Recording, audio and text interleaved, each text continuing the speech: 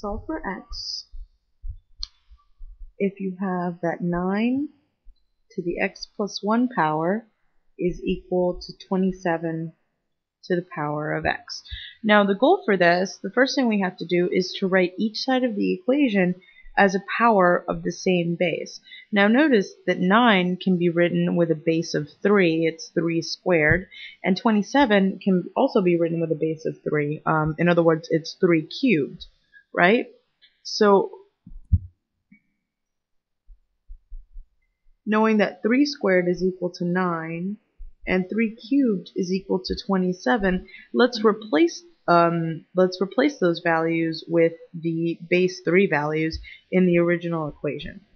So 9 is going to be 3 squared, and that's taken to the x plus 1 power. And then on the right, we get 3 cubed taken to the x power.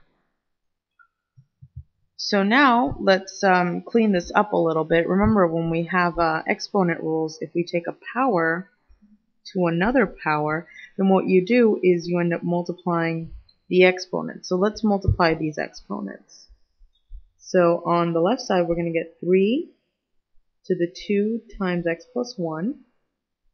And on the right, we're going to get 3 to the 3 times x. So now, since the bases are both the same, since the bases are both 3, what we can do is just equate the exponents. So since the bases are both 3, the only way these two guys can be the same is if 2 times x plus 1 is equal to 3x. So now we can just solve for this. So I'm going to first distribute that 2 into the sum. You get 2x plus 2 is equal to 3x. And then I'm going to subtract 2x from each side of the equation. So I get 2 is equal to 3x minus 2x. That's just x. So x here is equal to 2.